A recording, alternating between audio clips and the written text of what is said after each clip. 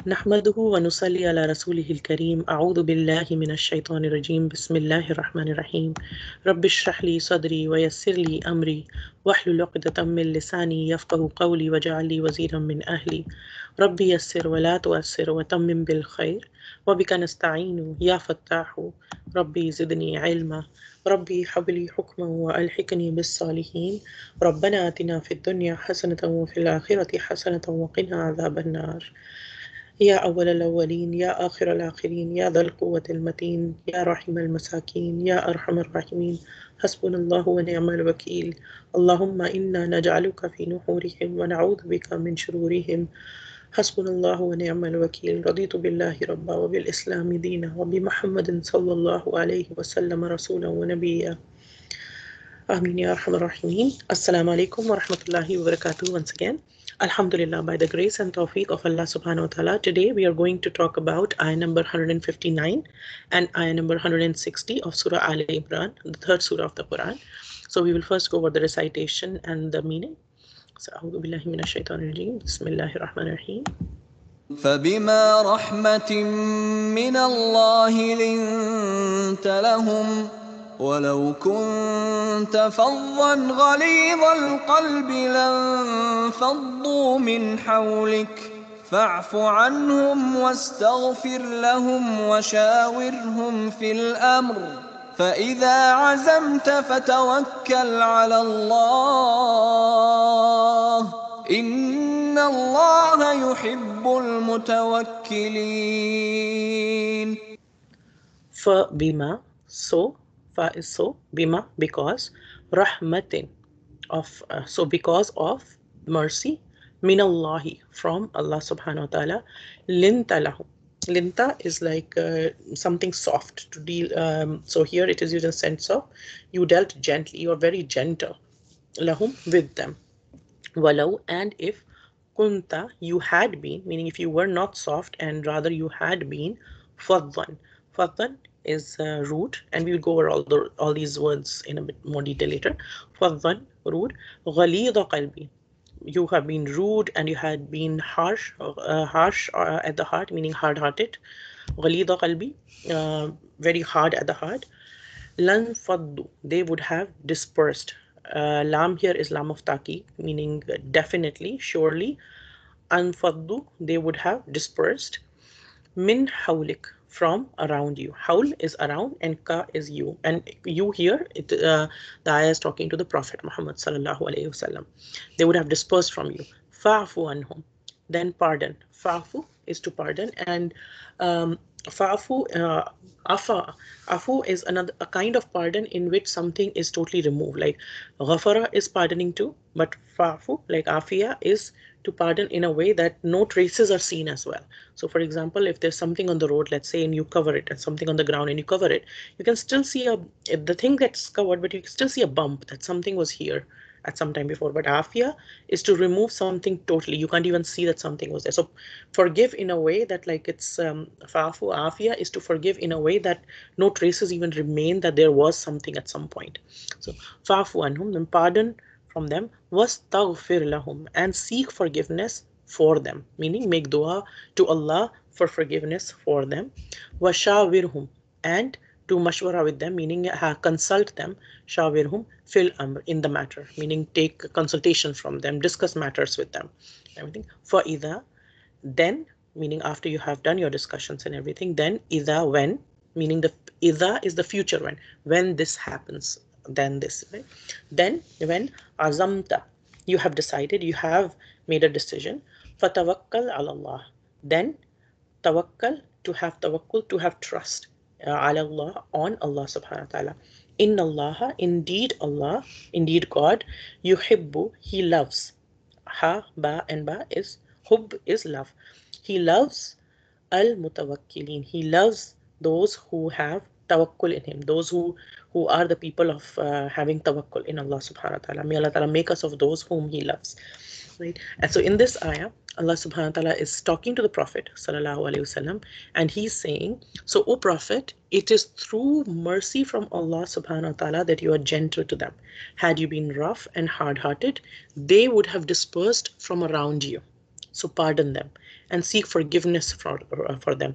Consult them in the matter, and once you have taken a decision, place your trust in Allah.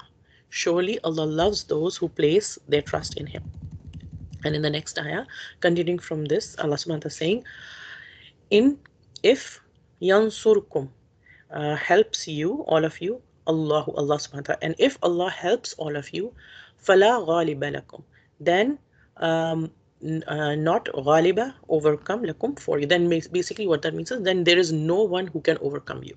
If allah helps you then no one can overcome you.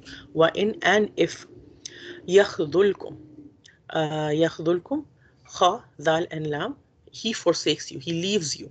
Faman then who? The lady is the one who yansurukum who can help you min after him May Allah Ta'ala not make us of those who He ever forsakes. May Allah Ta'ala uh, be with us for every second of every life. And He may He not leave us even for the blink of an eye. Wa Allahi and on Allah subhanahu wa ta'ala fal yatawakkal uh, let put their trust al mu'minun the believers. So basically on Allah alone let the believers put their trust. So in this ayah Allah subhanahu wa ta'ala is saying if Allah helps you there is no one to overcome you. And if he abandons you, then who is there to help you after that? Who can help you after that? In Allah, the believers should place their trust.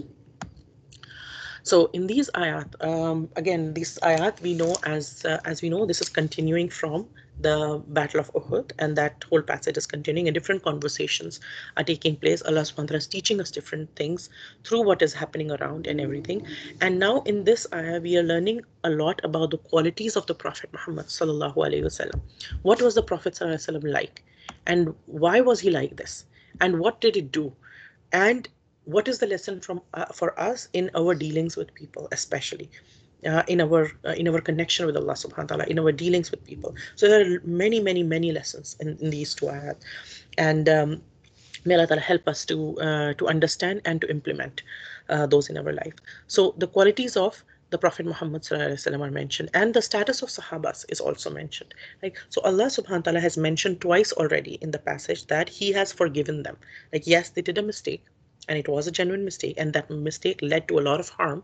People who left the archers who left the mountain the people who were starting to have doubts the people who were uh, overtaken by the chaos and they they kind of lost their heart for a few minutes and everything. So the, the mistakes happened during that battle and everything. And a lot of loss happened because of those battles. And yes it was a mistake and it needs to be corrected it needs to be called out. But at the same time allah subhanahu wa ta'ala mentions that he has forgiven them right? So that no one can say anything against them until the day of judgment, right? So first thing is that before anybody points any fingers at any of the Sahaba, we have to be extremely uh, respectful when we talk about the companions of our prophet sallallahu alaihi wasallam because they were a special lot they were they were people chosen by allah subhanahu wa ta'ala and uh, we have to be very careful in the words we speak about the people who are close to allah subhanahu wa ta'ala because um, you know like those are the people close to allah and then uh, we have to be careful for anybody who's close to Allah subhanahu wa ta'ala, who are the people of Allah subhanahu wa ta'ala, even if they make mistakes or everything, we and we are all human, uh, we we always watch our tongue of what we say. Right. And if we think of times like this, like something that has happened like this, usually when something's hurt and usually something negative over our negative side or our anger comes out when something's hurt. So for example, uh, for us, for any human being, it's very hard to to tolerate any uh, any hurt which is on our body. So for example, let's say a child is run, running around and the child steps on uh, a mother's toe and it hurts badly right? And then we react automatically. We react without thinking what did you do? Oh my god my head it hurts so much and everything. And then like we get we get angry and we get frustrated all of it it's very hard. Like it's just automatic reaction sometimes right?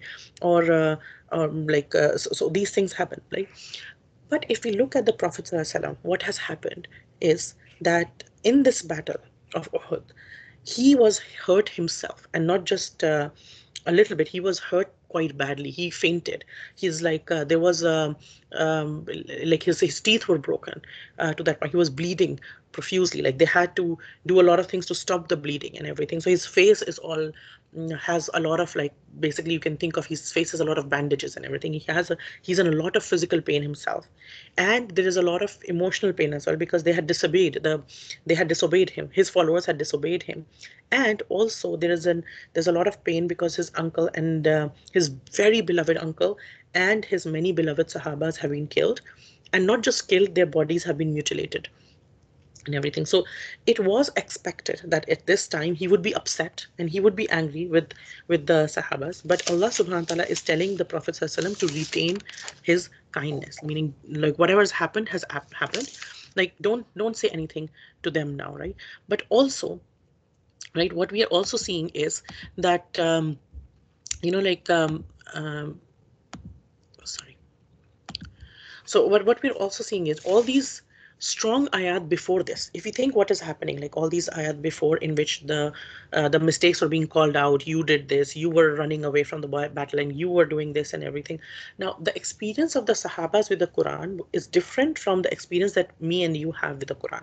Right? we we are just reading the quran. We are learning the quran. We are trying to find out. But for the sahabas the wahi would have come would come to the prophet wasallam, and then he would recite it out to the people. So it was very hard for the companions of the Prophet وسلم, to separate the Quran from the Prophet. So the Prophet وسلم, is speaking these ayat. So even those previous ayat, which are which are very strong, uh, and which are calling them out, which are which are pointing at that. Okay, this is what you did, and this is what you shouldn't have done. Though Allah has forgiven you, but this is this this this is what you did, and everything. And so it's it's literally calling them out and their mistakes and everything. But those ayat, how are they experiencing it? The Prophet himself is speaking those ayat.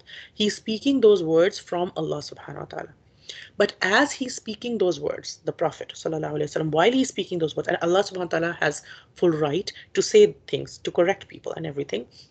But on the inside, the Prophet, وسلم, he has so much love and rahmah, loving care and mercy for his his uh, people, his followers, his companions, that even though he's saying all these ayat inside he's and uh, inside he's feeling like this love for the people. Inside he's like he just wants to go and hug them. And he was like it, it's all okay you know like and everything. So he's feeling he has this softness inside which is uh, which is almost unusual which is like um, uh, we don't see that kind of softness for people. So he allah subhanahu Wa Taala, for bima rahmatim min allah like because of a special mercy from Allah subhanahu wa ta'ala. The ma here is a, a ma of tajub, of emphasis. Like it is a special rahmah of Allah subhanahu wa ta'ala that you are like this. The Prophet this was a special quality that he was like this. He had this special love. Even when he is reading the ayat inside and the Sahabas while listening to this, they are feeling scared, they are feeling guilty, they're feeling embarrassed.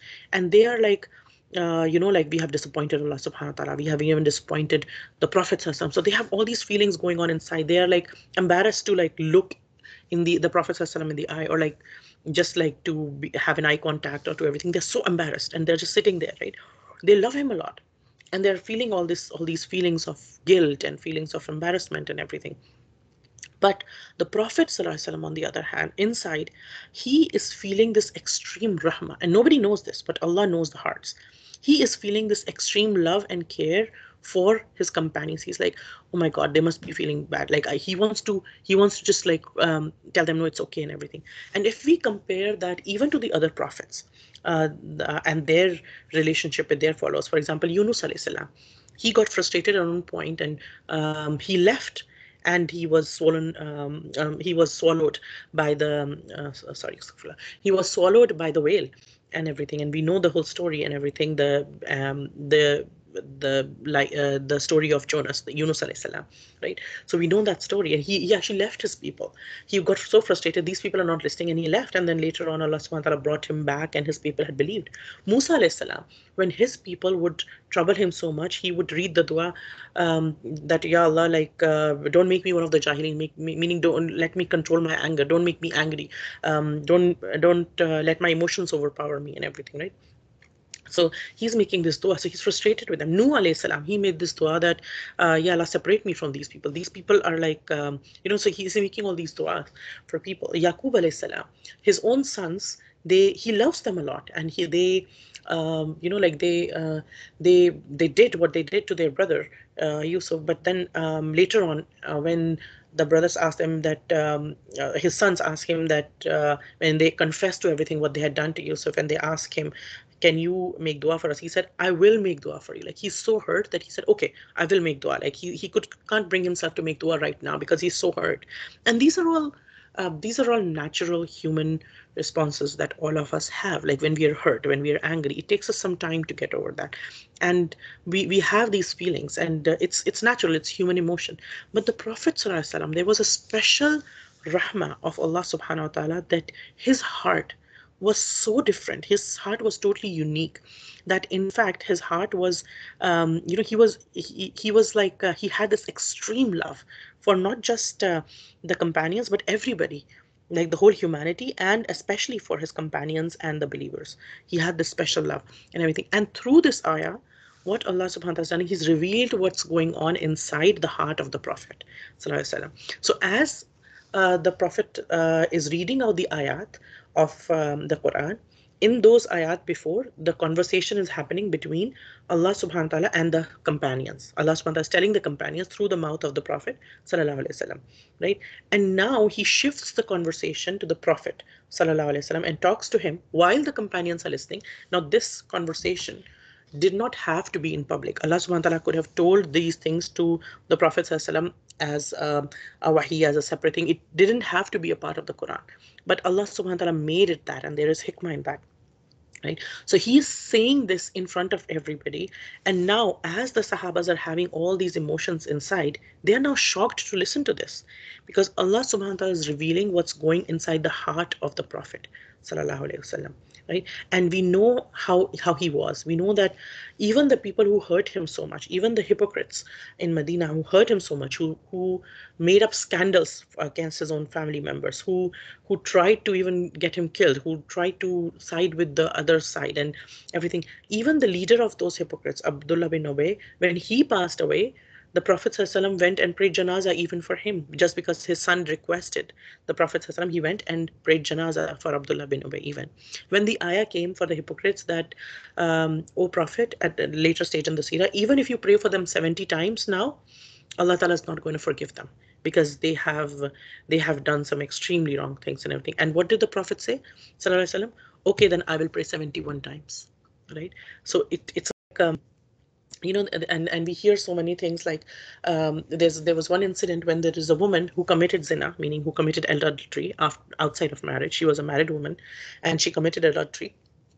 And we know the punishment. And everybody makes such a um, you know th- this is something which has made so much controversial and people talk about this so much uh, oh my god islam is so harsh and everything that uh, the punishment of a woman who's married who um, or a man who's married and has a relationship outside the marriage, has a physical relationship outside the marriage and everything, and either they themselves confess it or they um, there are witnesses. There are four witnesses to this, and the punishment for that is rajam to, to be stoned, right? And and again, this punishment is not just to be given out by anybody. It is when there is a proper khilafah, there are things maintained, there is a um, and there's a proper way to do this. So there's a lady who actually committed this and she came to the prophet وسلم, herself uh, because she was like she was scared she didn't want to punish me she sought forgiveness from allah and she wanted to get the punishment in this life so that she's not punished in the hereafter so she came to the prophet وسلم, and she said that ya rasulullah like um, I, this this happened and please punish me and the prophet وسلم, said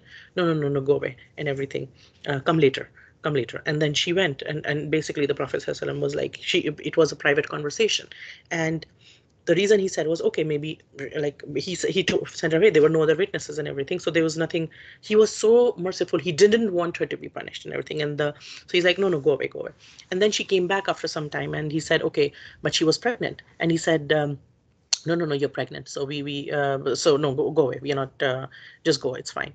And then she came and uh, with the baby in her um, hand a few months later. And then she's like okay ya rasulullah punish me now. Meaning she's asking for a death penalty for herself. And what did the prophet say? No no no go. It's the child needs you feed the child. And you need to feed the child meaning not just one or two days that means two years uh, right? And uh, so she she went and then she came back after two years and uh, she came back with a piece of bread in the hand of the child uh, while he's eating and she came again to the prophet and she said okay ya rasulullah grant me the punishment now. And now she didn't come in private conversation she came in public like when there were other people around as well. So now like the the law had tied him and then uh, she was given that punishment. But what we are what we are learning is when we actually see the seerah it's like the prophet ﷺ was so loving to his people. He was so kind and there was a special kind of loving care and mercy. He wanted goodness for all of us. He didn't he didn't rush to punish anybody. He didn't rush to be harsh to anybody. He was extremely soft and kind and when there was no other option available then he would um, then there would be some punishment or something happen so we can just to understand we can imagine that let's say there's a mother some a child does something uh, wrong and, and something and she tries that um, the father doesn't get angry right? So she would she would say uh, convey to the father in a way that she would talk this and that so she doesn't want the father to get angry on the child so she makes effort for that and everything right? So uh, because of the love that she has for the child right? So so here we're understanding that um, you know this is a special mercy, special mercy from Allah subhanahu ta'ala that linta lahum you deal gently with them. Linta from comes from line which is like uh, in Arabic that means um, a date that is um, that is very soft that is very soft. And uh, so sometimes let's say we go out and we buy some dates they look good but when we come home it's very hard on the inside and everything. But some dates Uh, what what happens is when we buy them and we eat them and they are so soft that they literally melt in the mouth.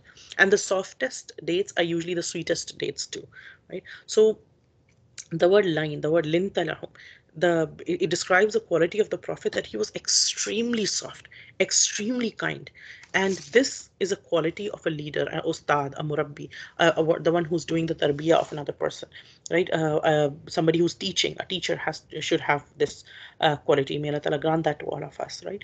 So it is from the special mercy of Allah subhanahu wa ta'ala that he is so soft with people. He's so gentle with people right? And the rahmatin is nakira meaning like um, uh, it is wide. Rahmatin at the end. So just for the grammar uh, part at the end, it's nakira meaning it is uh, it is not specific. It's common meaning it's uh, it's wide. It's encompassing, right? So sometimes we say the book, and sometimes we say book, right? So uh, when we say book, it could be any book, but when you say the book, we make it specific, just this book only, right? So this is general. It's like rahma. It's not like uh, just a little bit of rahmah, it's like wide encompassing. So it's like a huge rahmah of Allah subhanahu wa ta'ala that he is. The Prophet is like this. This is how Allah subhanahu wa ta'ala made the Prophet. And the opposite of that, and if he was not this soft, then Allah subhanahu wa ta'ala says, Walau kunta faddan. And if you had been rude, fad, fa, dha, and dha. Uh, fad means somebody who's um, is the opposite of soft and if he was not soft, what could he have been like? If there was a possibility, he could have been fadwan means crude, impolite, harsh, ill-mannered. Fad, the word actually comes from the dirty water which is inside the intestines. So in the desert, what would happen is, let's say the when the Arabs would be traveling and everything, let's say somebody was traveling by themselves, they had um, a, a, ride, an animal that they were riding on, um, let's say a camel, or they, they're riding on that, and it's so hot and they don't get any food or something, they're traveling for a long time and the animal dies. Now, when the animal dies, they're stuck in a place, they can't move and everything. And now there is no water, there's no food, everything's run out. And this person now he's at the, uh, now the, he's struggling to survive.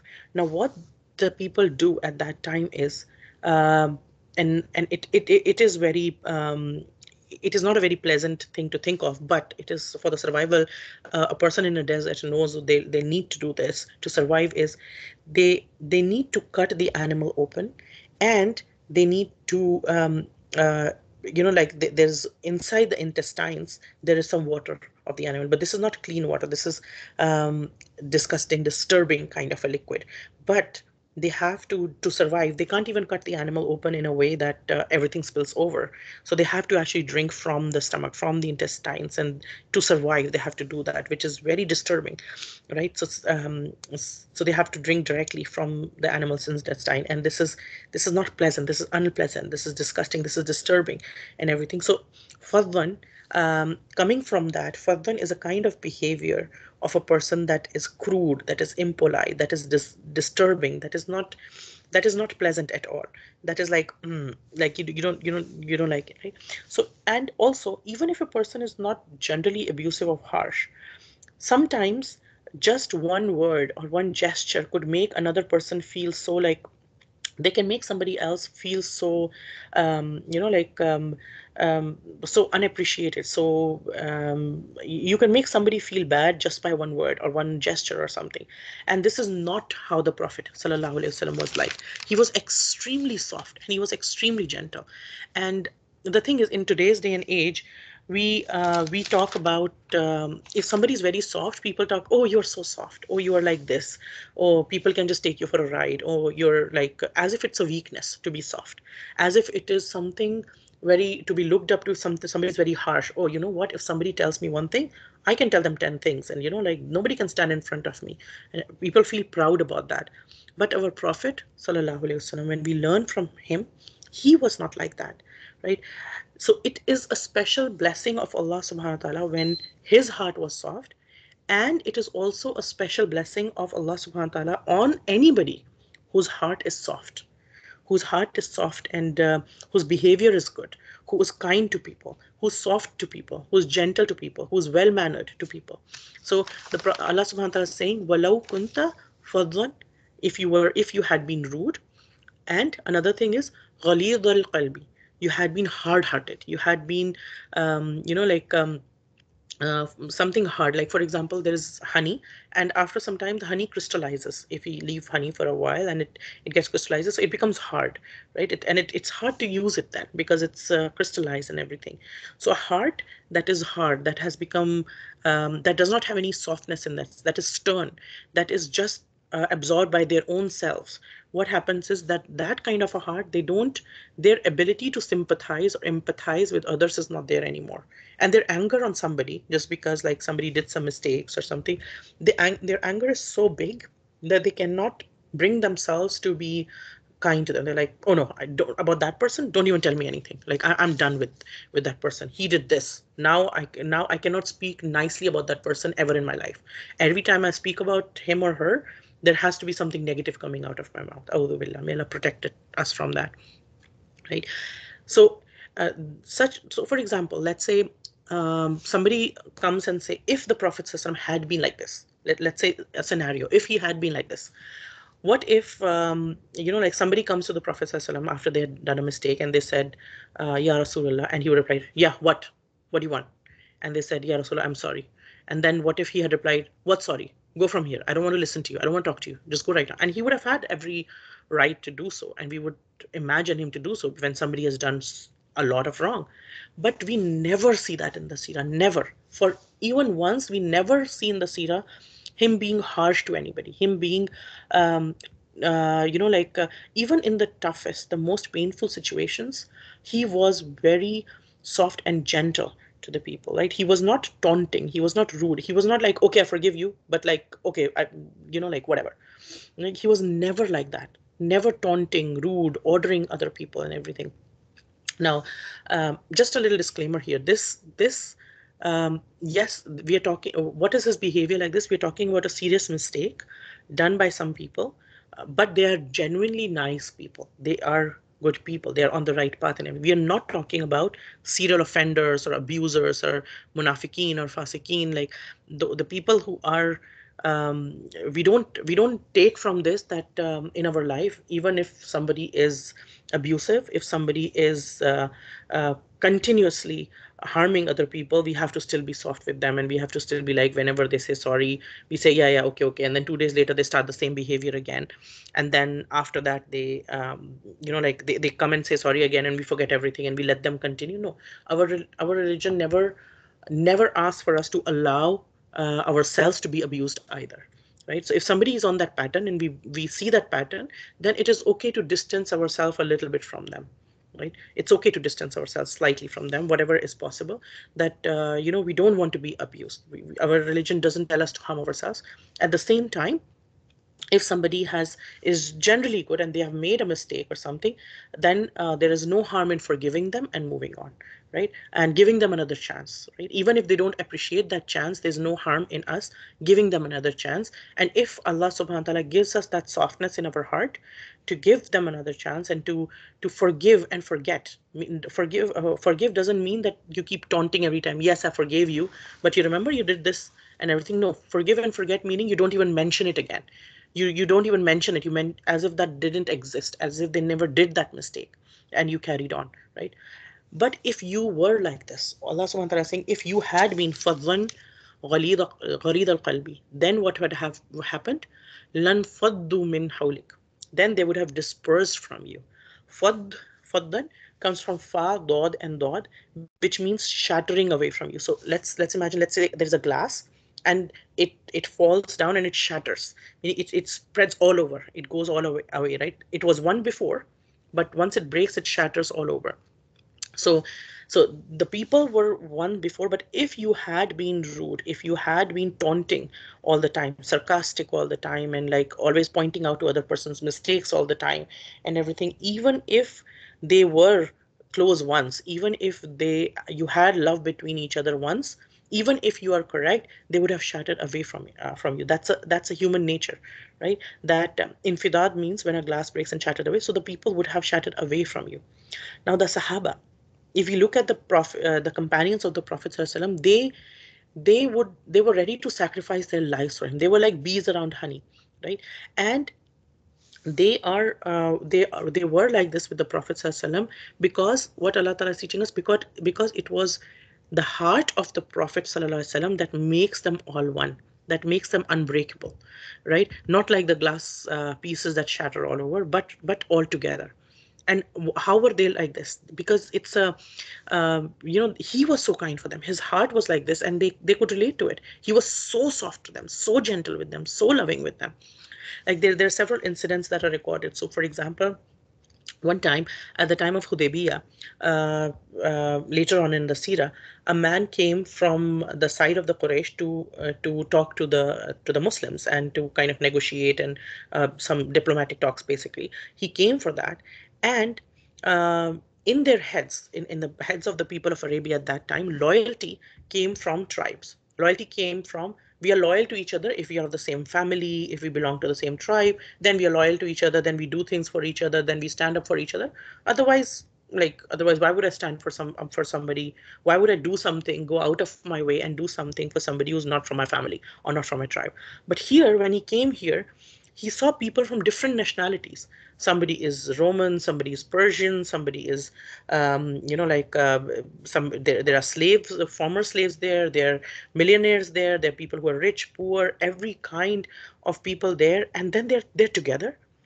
And he saw all these sahabas and he saw the love that these sahabas these companions had for their prophet. And he went back after he had these negotiate talks and everything he went back to the people to the quraysh and he said to them that to the effect that I have seen many big, big kings. I have been to the palaces of the uh, um, Caesars and the Khusros and everything, and I have I've seen all kind of big emperors and basically people who are big deals. But the kind of love that I have seen the companions uh, of the Prophet have for him, I have not seen that kind of a love anywhere. When even when he goes to do wudu, even when he goes to go and wash his face, these companions they fight with each other to catch the drops of water falling from his face. This kind of love i have not seen anywhere. This kind of love i've not seen for any even big big emperors. So you cannot uh, you cannot break these people. They have the kind of love for him that is unprecedented in and and it goes both ways he also had the kind of love for his people for us for me and you uh, like he used to pray he was um, you know, like me and you were born in this time. We have never seen him. But he knew the people who are going to come in his ummah till the end of the times, the people who were will be born into Muslim families or the people who will accept Islam.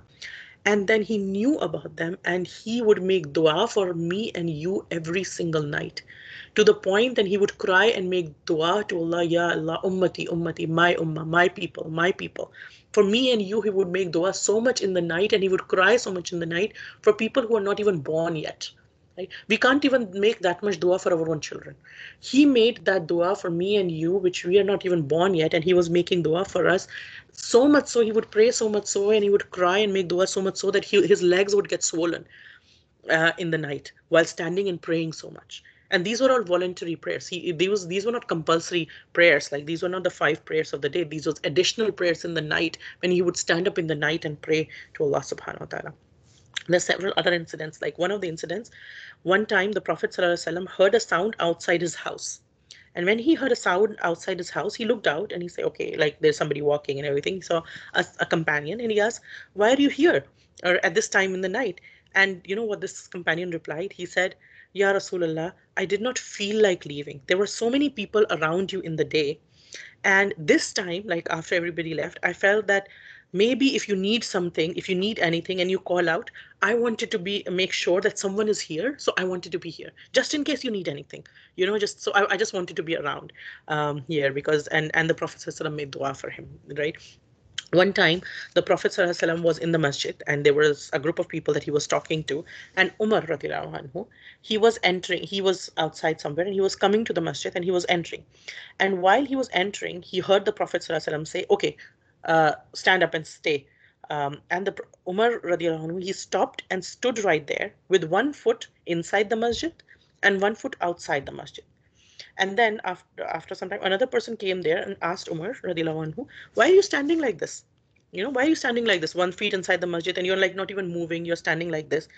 And Umar, he replied that, you know, the Prophet of Allah, sallallahu wasallam, I heard him saying that stand up. So I, I just stopped right here and I'm, I'm standing. And I, and I won't move until like he tell me. So the person said, you know, the Prophet was not talking to you. He was talking to some other people who he was talking to. And umar said oh okay. I thought he was saying to me so i, I can't move obviously when the prophet asked uh, so what if he had said to me so i couldn't move right? The kind of love that they had for the prophet was unprecedented. One time one of the companions of the prophet he got a melon to eat right? He got a melon and he was not eating it. And people saying okay why are you not eating it? Why are you not eating the melon? And he said you know I, I i was just remembering and i was not sure how did when the prophet got a melon to eat in what way did he cut it and eat it? So because i wanted to eat the same way. So he was not eating a melon just because he wanted to make sure he eats a melon in the way that the prophet would, would, uh, would eat. Like the kind of love they had was different kind of love. And the kind of love that may Allah Ta'ala grant us that kind of love as well for our prophet the kind of sacrifices that he has made because of which me and you have islam today is um, is something that we can never thank him enough for right? And so why did these people love him so much and the answer is here. The answer is in this ayah. Because love is a two-way street. He loved his companions a lot too. He loved them so much. His heart was so soft for them. He was so gentle with them. He was not harsh with them. He would not tell them off. He would not give them silent treatment for days if if he didn't like one small thing about them. Right? He wouldn't he wouldn't be harsh to them. If anybody ever gave him a gift he would receive it. Even if it was a stone from anywhere he would he would take it. If anybody asked for help he would never refuse it he would always help his family in the chores in the house right? He would he would always be be doing things for people. He would always be kind to people. And even when somebody does mistakes he would he would not be calling them out for every little thing that they did. He would be extremely kind and forgiving. Everyone thought that he loved them the most right? We, we cannot even do this with like two or three children that both the children think that we love them the most but he was dealing with so many companions and everyone thought that he loved them the most. That was how what his behavior was right? And what allah Ta'ala is teaching us is no matter how good we are even if we love somebody even if we love somebody a lot and even if we are a good person if we are rude if we are insensitive if we put others down if we insult them if we make fun of them people will slowly leave your side. And some people might not leave you physically but they will start to leave you emotionally because you insult them, you put them down, you are insensitive towards them. You don't care about their feelings. You don't care about, uh, um, uh, you know, like uh, their honor, their respect in front of other people, right? You you keep disrespecting them once, twice, thrice, and everything. Then uh, it's human nature, right? People will not, uh, and then then we wonder why is this happening, right? So people might keep standing because of respect or because of a certain relationship, but their hearts will not be there anymore. So for example, let's say somebody has some servants and everything, and they are very rude to their servants. They keep calling them in in loud noises. They keep calling them off. They keep telling them like uh, nasty things. Oh you are so so useless. You're this and that. Because now the servant has to work for the master. He needs the money. He or she needs the money. So they have to listen to the person saying all these things. But what we have to understand is when we are saying to somebody when we are screaming on somebody and they don't have they're not in a position to reply back to us. They might be saying the same things to us in their own heart though. They might be saying those same things to us in their own hearts but they don't have just because they don't have the ability to do that but our behavior has an impact on other people right? So even if it's our children even if it's our maids even if it's the people who are um, who do not have the power to speak in front of us the prophet ﷺ is teaching us by example and allah subhanahu wa ta'ala is uh, making sure that we understand that his example is that we need to control our tongues we need to control our tongues the Prophet ﷺ told us to the effect of that that person is saved who learns to be quiet, who learns to control their own tongue. Right. And so here also the Prophet ﷺ is being told that Allah subhanahu wa ta'ala is telling the Prophet, and by extension all of us, he's telling the Prophet that your lenient attitude towards them should continue in future also. Yes, the mistake of Uhud were big, but don't let the mistakes of Uhud um, harden your attitude towards them. Your leniency will make them lovingly follow you and turn to self-reform. They will, they will look at themselves more. The more you're lenient, the more you're soft at them, they will themselves look at their own selves and try to uh, try to correct themselves. You don't have to point out everything, right? They will, if you are uh, soft with them, if you are kind with them, they will look at their own mistakes and they will correct themselves, right? So uh, people in our own lives, people will make mistakes. Sometimes they will make huge mistakes. Sometimes those mistakes will kill us inside. Sometimes those mistakes will make us so angry, so hurt on the inside. But sometimes intelligence is to be quiet at that time, right?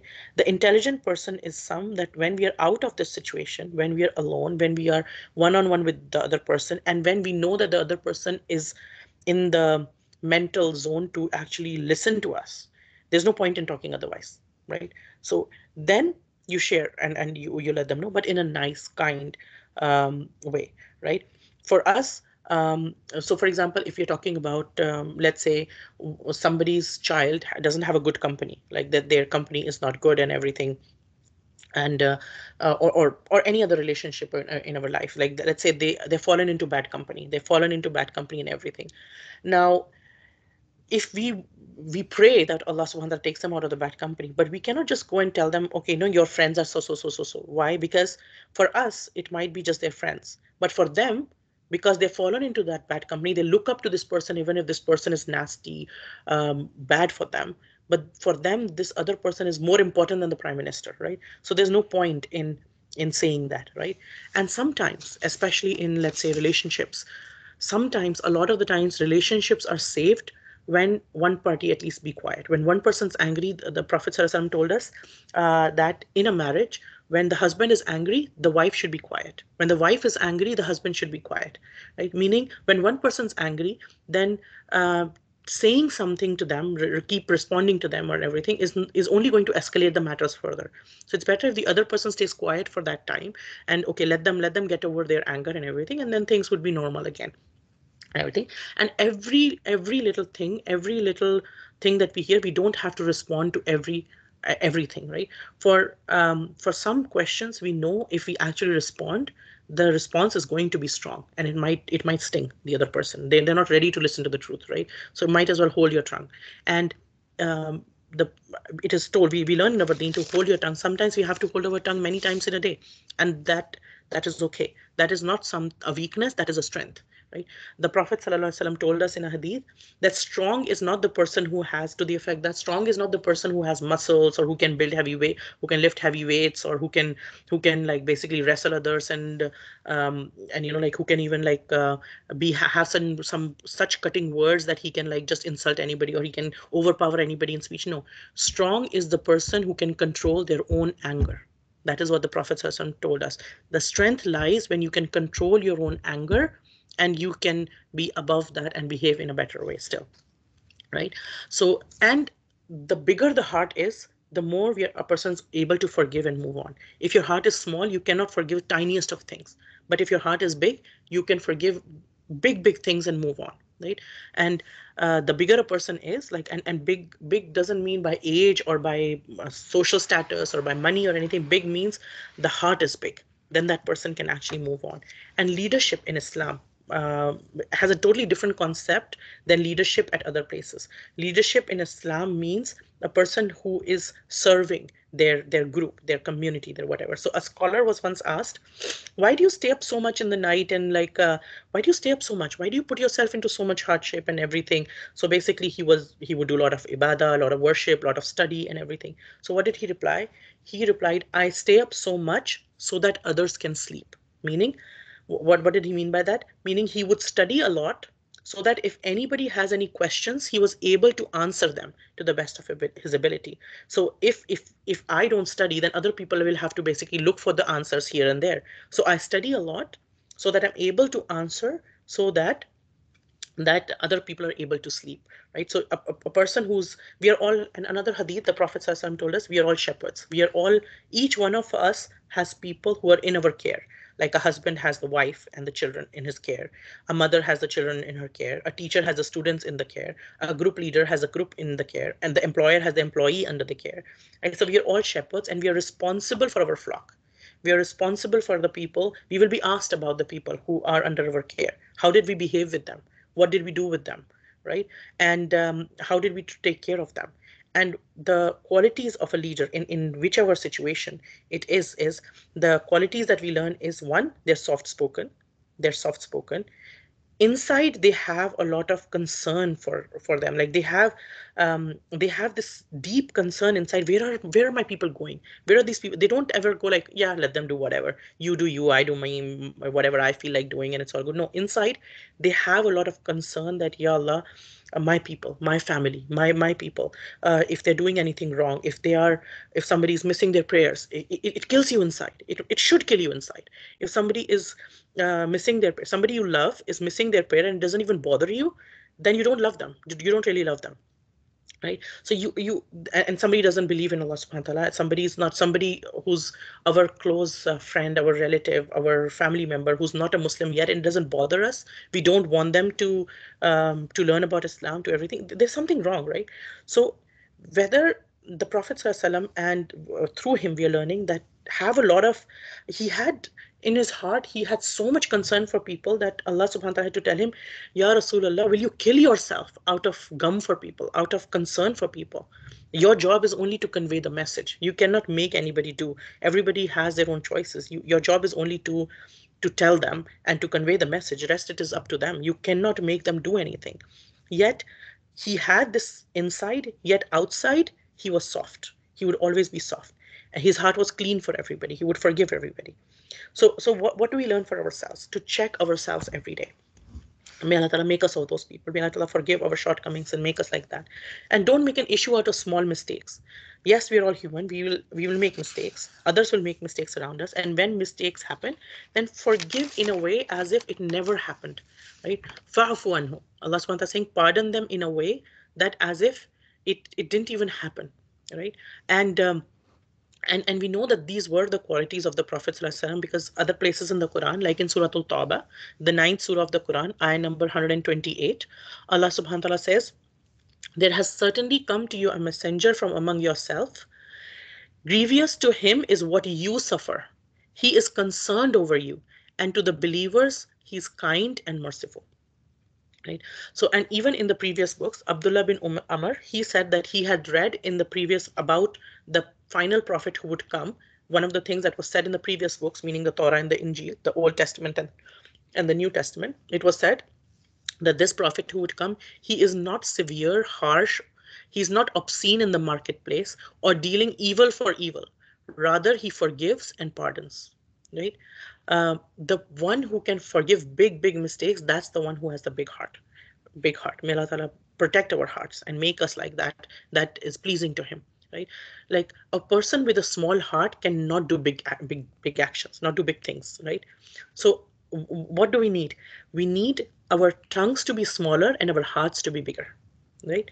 That it's it's okay. What happened happened, but it's not the end of the world. It's not the end of the world, right? 100% quality is unachievable by anybody, right? It's not possible that there are no mistakes. Even Sahabas, even the companions of the Prophet, wasallam, they were human. They did make mistakes. And none of us can have perfect people in our team, our families. None of us can have perfect people. Not even a single person. It's not possible, right? Computers can be assembled in a way that we want them, not human beings. Human beings cannot be how we exactly want them, right? We, ha we have to uh, we have to still be with them and we have to uh, ignore a lot of things. We have to carry on and everything, right? Human beings make mistakes, right?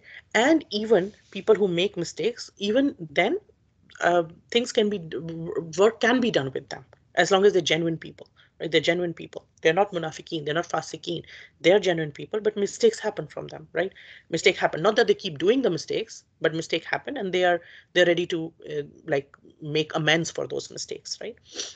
So the Prophet even he even forgave forgave the people like Hind and Wahshi, right? Hind was the the lady who um, who asked for his um, uncle to be killed in the Battle of Uhud. She was the one who mutilated the body and made necklace out of the fingers of uh, the, of Hamza radiallahu anhu, right? And Wahshi is the one who killed uh, Hamza. He the, later on in the Sirah, we know both of them accepted Islam, and the Prophet forgave both of them he forgave both of them even right? And uh, no punishment was given to them after fateh makkah when um, he could he was victorious and he could have punished them but he never punished them right? So what do we learn is we don't become lenient on ourselves we don't keep ignoring our own shortcomings but we forgive others. A, a, believer we need to keep keep a strong account of our own self. We need to have to keep the working on our own taqwa keep working on what I should be doing right, what I can do better, what are the mistakes that I did, and what can I correct, and everything. And for others, we forgive them, we do the best that they can, we convey the right thing in the right way, and then we keep moving on. And then Allah subhanahu wa ta'ala says, one, you forgive them. Second is not just you forgive them, Ya Rasulullah, and this is what Allah subhanahu wa ta'ala is making the prophets say in front of the companions. So we can imagine how the companions would have felt at this time. That they're listening that Allah subhanahu wa ta'ala is commanding the Prophet and he's telling the what is going in, inside the Prophet's heart. And he's commanding the Prophet that you have in public, that you have to forgive you, you forgive them. And in addition, you seek forgiveness for them. Like now it is it is okay that if somebody has hurt us, that we forgive them. Yes, it okay, fine. I, I forgive, like, okay, carry on. Let's let's forget it. Let's move on with our life. Like I cannot stay in that that negative zone all the time. Like let, let's just forget it. Right. But it is very hard to seek forgiveness from Allah for them. That, Ya Allah, you also forgive them. Now that requires a, a different kind of love, right? That you you forgive them and you ask Allah to forgive them. You make dua for them, right? And when we make dua for somebody, it is very hard to stay upset for with them even if they have done mistake because when you're making dua for them you're saying allah allah forgive them like you, you will your heart will become clean for them anyway right? So it is a quality of the believers, it's a quality of the Muslims that we make dua for each other. Making dua for each other that creates love amongst each other. So we should, and we there is no harm in asking somebody, please make dua for me. There's no harm is in asking uh, other people and like people that we love that can you please make dua for me or make dua for my children or make dua for my family and make dua. There's no harm in that right and and we should make dua for others um, as well and uh, we should make dua for uh, people who are close to us and um, being soft doesn't mean that we just keep smiling and no matter what good or bad happens, we don't even say anything. Yes, the Prophet was very soft, but firm at the same time as well. He was he wouldn't he wouldn't tolerate um, wrong as well, right? And this quality, like we we said, it was mentioned in other books as well. He was firm on the principles as well, right? So um, um, and, and this we know is a huge rahmah from Allah subhanahu wa ta'ala. This is this is expected from anybody who has who start who wants to do the work of the deen, who wants to work for the deen of Allah subhanahu wa ta'ala to develop this quality amongst themselves. And if you see for also, for example, when there are big storms, right? When they, um, let's say a big storm happens or um, you know like uh, um, what happens in a big storm? There are um, there are big trees that fall down. When any storm comes, we see that there are so many trees that have fallen down at different places and everything. But small and soft, soft shrubs which are there, they are able to survive. Why is that? And the most thing that is able, the most vegetation that is able to survive the most during even the storms is the grass. Why the grass? because the grass is soft and resilient. Like when we walk on the grass, it bends and everything. It becomes it's soft. It's not harsh at all. And then when somebody goes, it, it goes back up again. Right? There's resilience in a grass. So when we look at the grass, what we learn is softness. Anything which is soft is able to survive more right? And fadwan like we said is the opposite of that. And the prophet ﷺ was not like that right? He was um, you know despite everything he was able to forgive people and move on. May allah Ta'ala make us like that too right? Because leniency and forgiveness what it does is it creates mutual goodwill and trust amongst people. It makes the system coherent and strong. Like like people won't shatter people won't move away. So for any group to stay together this this quality is very essential. Um, uh, for for each other. But at times there there is uh, there are things that need to be spoken out. So for example um, in health like for good health the basic requirement is healthy food. Like most of the time we need to have healthy food. But sometimes medicine is needed to restore health as well. So similarly in social life the political life the basic requirement is leniency. But at certain times firmness and severity may be necessary due to some need of emergency or something and everything right so just being lenient just just as a disclaimer being lenient doesn't mean that uh, we we let uh, people uh, you know we, we, we let just people get away with anything and everything but it is the behavior which has to be lenient. And then uh, sometimes sparingly uh, things might need to be called out but uh, may Allah Ta'ala grant us the hikmah for that right? And there's also a hadith that Allah subhanahu wa ta'ala says that told us that through the prophet that if people did not sin then Allah will bring another people who will sin and He will forgive. He loves forgiveness so much, right? Um, the uh, every son of Adam is a sinner, and the best of those sinners are those who repent. Right? So mistakes will happen from everybody, but we repent and we forgive others too right and sometimes loss is important to to keep the humility alive to keep the humility alive. Because if everybody is doing everything correct all the time then arrogance is very um, like people get arrogant even when they're making mistakes. Like we see that people making mistakes and being arrogant while making mistakes. So if imagine if we were not making any mistakes and how much arrogance um, we were capable of. May allah forgive all of us. Right?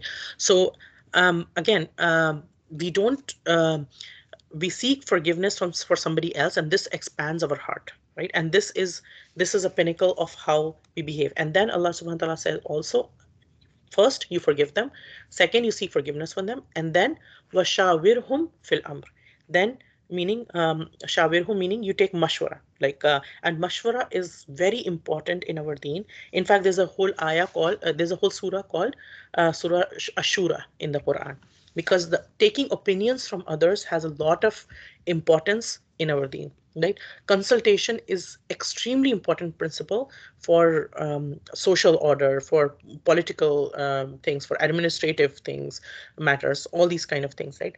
And why is the prophet ﷺ taking the opinion of others? So if, if we think about the prophet ﷺ, he he was getting wahi from allah subhanahu wa ta'ala directly. He was talking to Jibril, the angel Jibril. He's talking to that. Yet, why is he taking opinion from other human beings, right? Why is he doing that? Now, just to understand that there are two kinds of matters that the Prophet had to deal with. One, on which instructions were given directly through Wahi on these, no opinion was needed. For example, how much zakat should be given. It is 2.5%. This is what Allah subhanahu wa ta'ala said, that is it. When and how to pray, right? Like you have to pray Fajr, you have to pray two rakat in Fajr, you have to pray four rakat in Zuhr. This is it. Like, you know, there's no mashwara in this. There's no changing the number of rakat that we are praying. There's no change in this. There's no change in the, the time of Hajj. There's no change in how how you're um, how much uh, is going to be the month of Ramadan and how much you're going to fast um, from what time to what time, what you're allowed to eat, what you're what uh, what you're allowed during the fast, what you're not allowed during the fast. That's all decided by Allah Subhanahu wa Taala. But other matters, things about which either no clear command has been received from Allah subhanahu wa ta'ala, or if a command has been given, but the question of how to put it into effect uh, still needs to be settled. So in that those matters, he fought, uh, he sought the uh, mashwara of people. He sought the opinion of other companions, and then he he went ahead accordingly, right? So, for example, at the time of before Uhud, he sought everybody's opinion: should we fight in the city or should we go out? At the time of Badr, he asked the, their opinion: okay, where should we camp? Where should we set up our camp? Should the prisoners uh, be executed, prisoners of war, or should they be spared? At the time of uh, the incident of Ifk, when the uh, when people made um, rumors about his wife and um, Aisha, our mother Aisha anha, he saw the opinion of other people. Okay, he he called them and he asked them, okay, what is your opinion? He asked the maid, okay, what do you think and everything. Though like this is somebody he loves, but yet he has a position, so he deals with that opinion. At the time of Khandaq, the Battle of Trench, he saw the opinion of the Sahabas, what should I do? And one person gave an opinion, Salman bin Farsi, that uh, in our place, when we have an, a war, we dig a trench all around to protect our city from the people, and that was followed. Right At Hudaybiyah, when there was, uh, he took the mashwara from the Sahaba, should we go to fight or should we stay and not fight? Right? And he sought all these opinions. So what does, what does um, taking opinion from others do? It, it shows that you respect and value others. It brings the community together. It builds the community. And sometimes when we seek opinion, even when it's not needed, we um, we can make this intention for me and you, we can make this intention that we are following a sunnah that it was the sunnah of the Prophet. Uh, so I will seek an opinion and everything, and may Allah Ta'ala accept from me. So it becomes an ibadah then. It becomes a, uh, it, it, it gets written down for us as a means of worship, as a means of trying to follow the sunnah of the Prophet. As opposed to this, a dictator what does a dictator do? They do not seek the opinion of others. And what, what happens eventually, when somebody is able to revolt, they revolt and people disperse away. Right? For, for a dictator, even his own people, for a dictator, they don't really like him. They just like the benefits that they're getting because in, they are in the they are with the person who's in power. So they just um, follow him because of that. But as soon as they get a chance, they they they disperse away, right? So shura in Islam has a lot of uh, uh, a lot of rewards, and uh, the Prophet ﷺ told us to the effect that the person who does mashwara will never be disappointed. Like will never be like um, you know like uh, it, it, will give some benefits basically, right? And um, so um, we we make the shura we, we take the advice from people. And uh, how do we seek advice? For me and you what does that mean? We choose the best people. One is we don't seek advice from tiktok or social media or like uh, just random people who don't know what they're talking about. We choose the best people. We choose people who are intelligent. We choose people who are capable. And then we take their opinion or and then they then apply the opinion according to what's the best um, uh, way to apply it right? Or um, before announcing anything, we check with the people whom it will impact, right? If we are making a decision and that decision is going to impact some other people, let's say we are making a decision for ourselves and our work, a husband's making a decision for his work, and that is going to impact the life of his wife and his children and everything. And before announcing, he's like, okay, he discusses it with them and everything that and then he makes this intention that yeah i'm going to follow a sunnah and it, that that discussion becomes um, an act of worship for him right for for so for um, similarly a wife when she discusses that okay i'm, I'm going to go uh, i have to go to this friend's place or i'm doing something and she discusses she talks to her husband about it she tells him about it she has this discussion then inshallah that becomes uh, uh, an act of worship for her as well because and she sees the reward from Allah subhanahu wa ta'ala. And even for no, normal day-to-day things. And also when we do mashwara, what it does is it makes the other person feel valued. They, they, um, uh, so in in in, in the context of the Battle of Uhud, these people who are feeling guilty, who are feeling sad, who are feeling embarrassed, who's, who are feeling like they cannot even make eye contact with the Prophet Allah subhanahu wa ta'ala is telling them through the Prophet himself that the Prophet has forgiven you. He's going to seek forgiveness for you. He's going to consult you in your matters, even though your mashwara, some people gave a mashwara which led to all these harm that they wanted to go out and fight. They didn't want to stay inside. And that was a wrong opinion. But he's not going to hold you for that. Sometimes some people might give one opinion who might lead to disaster but then we don't like you said this you know that's why all this happened right? Um, we don't do that. Like the same person might give another opinion that might be really good right? So we don't uh, so when we we take their opinion again we make them feel valued we make them feel like uh, they're important and everything right? And finally then allah subhanahu wa ta'ala says and when you have decided the matter when you have done your mashwara and and first mashwara we always do is from allah subhanahu wa ta'ala which is what which is istikhara uh, we, we pray istikhara we when we have a decision to make we pray istikhara we ask allah ta'ala for goodness in whatever then we discuss with people who either will be affected or who have intelligent um, uh, who, who have knowledge about that matter or something we discuss with them and everything and then we make a decision and after we have made a decision and all this then فَإِذَا عَزَمْتَ فَتَوَكَّلَ عَلَى اللَّهِ then when you have decided then once you've made a decision then put your trust in allah. What is allah subhanahu wa ta'ala telling us? That then you put your trust in allah subhanahu wa ta'ala right? So quran is teaching us like how to deal literally our daily life right? So what does tawakkul mean? Tawakkul means that um, again it's a heavy word it's a deep word but what does it mean is that um, one time a person came to the prophet ﷺ and he said uh, he got he had his camel and the camel we know is the most prized possession of um, somebody in a desert right? So he had this camel he, the camel was outside and he said ya rasulullah i left my camel outside i didn't tie my camel and i trust allah. And the prophet ﷺ said no you go back you tie your camel meaning that you don't want the camel to run away, you tie your camel and then you put your trust in Allah subhanahu wa ta'ala. What does that mean? That we do the best that we can in a situation and then we say, okay, now I did my best and now the matter is in Allah's hands. He will do for with me and I will accept whatever he does with me. And tawakkul means you know one of the scholars he said in a very beautiful way is that uh, tawakkul gives a sense of peace inside to a person and what does tawakkul do tawakkul means to become towards Allah subhanahu wa ta'ala like a dead body is in the hands of someone giving ghusl to it right? That uh, they can turn um, the body whichever way they want. They, they clean the body. That the, a dead person cannot do anything with the body. So it's like whatever decision Allah makes for me is going to be for my best, right? So that is tawakkul. Like I do my best, I do my due diligence, I do whatever I can do, whatever is in my power to do for myself, for my children, for my family, for my community, for my deen. I'm I do whatever I'm able to do, and then I leave the matter in the hands of Allah subhanahu wa ta'ala. I have this tawakkul, I have this this faith, this belief that Allah subhanahu wa ta'ala is going to take care of my matters, right? So even when we go for Hajj, for example, we are told take things for the way.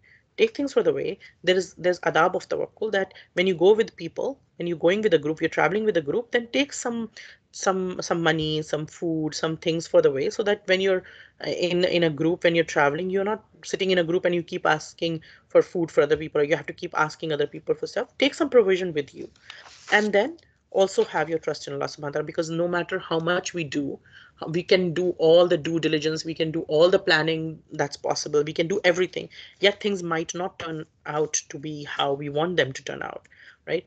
But even when that happens, then we have to make sure that we rely on Allah subhanahu wa ta'ala. And how do we rely, right? The, the what does reliance mean? Uh, in true sense, it means uh, that Allah subhanahu wa ta'ala explains to us in the next ayah, if Allah helps you, there is none to overcome you. So once I do this, I have like, Ya Allah, I need your help. And if Allah helps me, then there is nobody who can overpower me.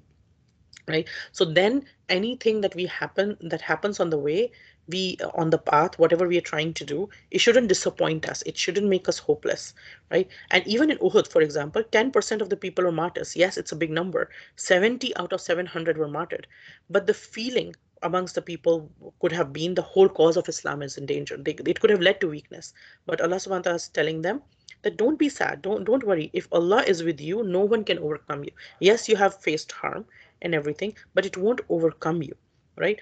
And um, if he forsake you, khadala, khadal, like uh, khadal means to leave at the time of need right? When somebody is in need of something then to leave. And what who does khadal a lot? Shaitan. Shaitan uh, what shaitan does is the what the devil does is he he keeps inciting people to do you know do this i'm with you do this do this and he incites people to do sins to do wrong things and everything. But right at the time of need when he's like okay i did this now now you are you're with me right? He's like no i just told you to do it but you did it. Like even on the day of judgment he'll be like I had no power over you. I had no control of over you. Only thing I could do was whisper to you. You are the one who followed. So now blame yourself, right? Even on the day of judgment, although he was the one who was inciting people all the time, but he would he would go away uh, at that time, right? So if Allah forsakes us, if Allah leaves us at the time when we need Him, then where will we go? We have nowhere to go. We have nobody to help after Him. So how do we seek the help of Allah Subhanahu wa Taala? There are four things that we we we learn in our Deen that um, that call the help of Allah subhanahu wa ta'ala. One is to follow the Prophet wasallam, to to follow as to include as much sunnah practices, practices of the Prophet sallallahu in our life as possible. Do not uh, do not let your heart get attached to the disbelievers or the practices of the disbelievers. Yes, we want good for everybody, but do not make them your allies in the sense don't seek guidance from them. Don't seek um, guidance from people who don't believe in God and everything, right? And do amar bil maruf and nahi anil munkar, meaning uh, call people towards good.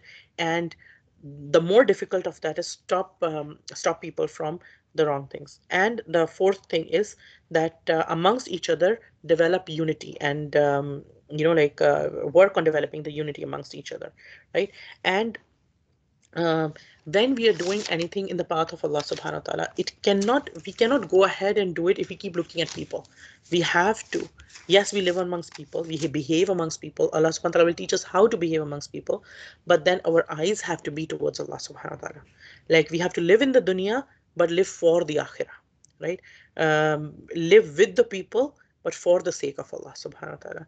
And um, when we have this yaqeen inside that the Rabb, who is the in charge of uh, the whole universe, who's everything, if he is with me, then nobody can overpower me. Then even if the Prophet told us, even if the whole world, all the human beings and all the mankind and the jinn kind, they all get together to harm you, they cannot harm you even to the prick of a pin if Allah subhanahu wa ta'ala doesn't will for it to be so. And if everybody joins together to benefit you, they cannot benefit you if Allah subhanahu wa ta'ala has not already willed for it to do so, right?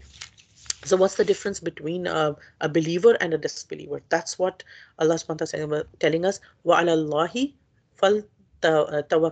فَلْتَوَكَّلِ mu'minun that the believers what is what what makes the believers apart what what what uh, makes the believer set apart from a disbeliever is that a kafir a person who doesn't believe in allah a person who doesn't believe in god their trust their reliance is upon themselves or the resources around them or the powers around them or the things that they have or the resources that they have but a mu'min a believer, their reliance is only on Allah subhanahu wa ta'ala. Why? Because what they understand is that the real strength and power comes only from Allah subhanahu wa ta'ala. Any power that we see other than Allah's is just an illusion. Any power that we see other than Allah subhanahu wa ta'ala is just an illusion. And that's what we learn when we say La hawla wa la quwwata illa billah. La hawla, there is no change in a condition. Wa la quwwata, and there is no power to create that change illa billah, except with Allah. So our iman necessarily leads us when we have iman, the next step would be when we profess to iman, when we work on our iman, it leads for us to put our trust in Allah subhanahu wa ta'ala. And any claim that any of us makes to believe in Allah, but we don't, we refuse to put our trust in Him, only shows that our claim was not solid anyway. Our claim was hollow. But when our claim is strong, then our trust in Allah subhanahu wa ta'ala is also strong.